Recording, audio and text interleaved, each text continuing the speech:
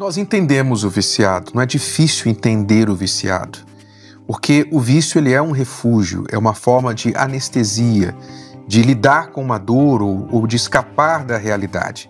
Entendemos se você está vivendo assim, mas talvez você não se entende. Você não consegue entender por que você, mesmo amando seu marido, sua esposa, seus filhos, mesmo vendo que o vício está te fazendo tão mal, você não consegue parar. Você não se entende. E isso te frustra muito e começa um círculo vicioso. Até para esquecer o fato de que você não consegue superar o vício, você vai lá e pratica mais do vício. É por isso que nós estamos aqui para ajudar você. Se você quiser entrar em contato agora com o nosso SOS Relacionamento, você pode ligar para o 11 3573 3535 ou enviar uma mensagem para o 11 3573 3573. Abra o seu coração. Se você quer ajuda, tem como você sair dessa situação. Se você não sabe lidar com o seu parceiro, tem como você aprender a lidar com isso para vencer esse problema também.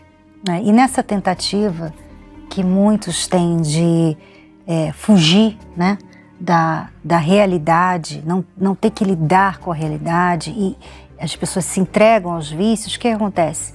Elas perdem a realidade, elas perdem um relacionamento, elas perdem tempo anos da sua vida, sua juventude, oportunidades, elas perdem. Quer dizer, não é você tentando não sentir nada, é, tentando fugir do seu passado ou da, de alguma dor que você sofreu, que você vai ter uma vida melhor.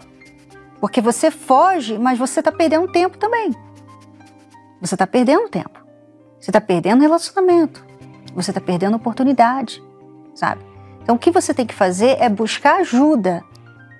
Você tem que lidar, saber lidar com a, realidade. Tipo, eu tenho um, uma dor, um trauma. Eu tenho uma situação que eu sofri no meu passado. Eu preciso de cura, eu preciso lidar com a realidade. Eu não posso fugir disso porque isso aqui vai ficar ali no seu passado, não vai deixar de, de, de existir. E você não pode ficar fugindo pro resto da vida. Né? Então, as pessoas têm que ter esse, esse entendimento, porque a, o vício muitas vezes é isso, é uma forma de fugir de algo que ela não quer mais pensar, ela não quer lembrar daquilo. Então ela, ela se entrega ao vício. É, mas ela foge correndo para o vício, que é o grande ladrão da vida dela. Não se foge de um mal correndo para um outro mal. Se você vai fugir de um problema que dói, de uma situação que dói, corra para a ajuda e não para aquilo que vai te roubar vida, dinheiro, relacionamento e tudo mais. Inscreva-se aqui no canal para ser avisado de novos vídeos. E tem aí um sininho que você tem que ativar para que nunca você perca uma notificação. E se o vídeo te ajudou, compartilhe com seus amigos. Até a próxima. Obrigada.